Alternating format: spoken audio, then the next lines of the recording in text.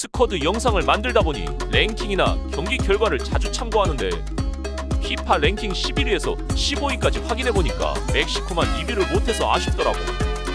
인생은 타이밍이라는데 리뷰해 봐야겠지?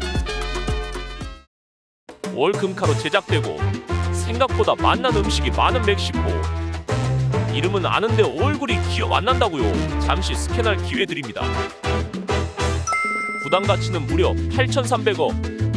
급여는 남아돌고 팀 컬러는 반응 속도와 드리블을 올려준다. 그럼 드리블 좋은지 확인해 봐야겠지? 자, 멕시코의 플레이를 확인해 볼까?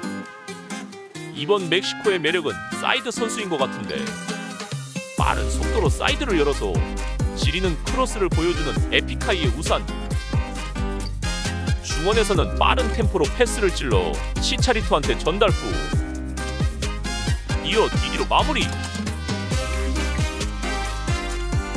침투 속도가 매우 빠르기 때문에 뒷공간을 잘 막아야 해요.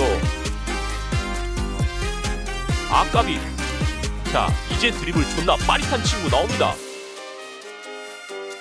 수비가 뛰는 걸 확인하고 flip flap 중앙으로 패스 연결까지. 로사노를 보니 반대편 umbrella 씨가 무언가를 보여주려고 합니다. 자신도 좋다고 홍보 중인 umbrella 사이렌을 키고 스루 패스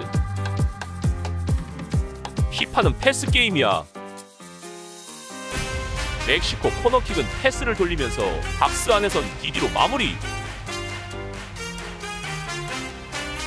그리고 멕시코 하면 오초아가 빠질 수 없는데 박스 안에서 야심 모드를 보여줬고 이 템포를 살려 빠르게 역습해주면 치차리토의 육상 모드 깔끔하다. 깔끔해. 간단한 후기를 말씀드리자면 공격은 빠른 역습과 드리블하는 재미가 있었다. 센터백과 볼란치의 속도는 아쉬움이 있었고 오초아는 중거리 때문에 라커룸에서 울었다고 한다